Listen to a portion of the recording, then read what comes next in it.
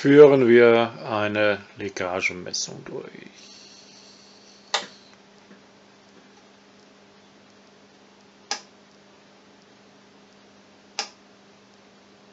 Oh oh.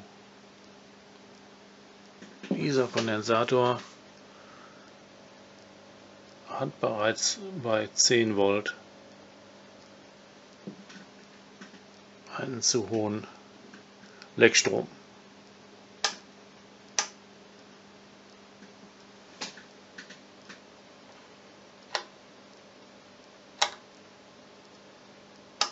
Sechs Volt, zehn Volt. Das war's.